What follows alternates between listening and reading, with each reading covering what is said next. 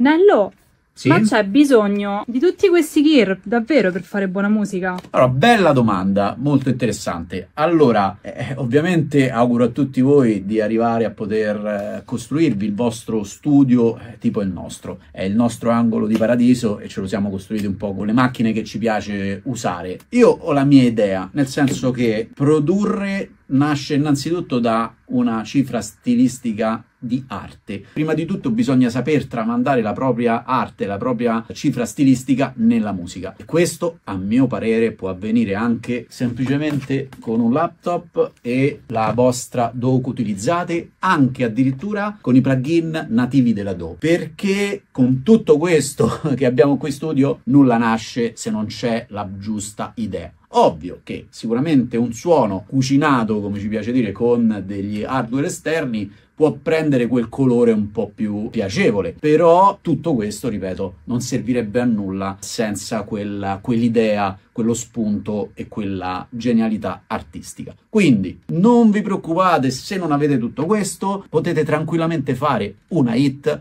con quello che avete nel vostro studio. Ovvio che poi è opportuno poter fare un mix e un master del vostro brano in uno studio casomai come questo. E voi raccontateci con cosa producete e che tipo di studio avete qui nei commenti. Ciao!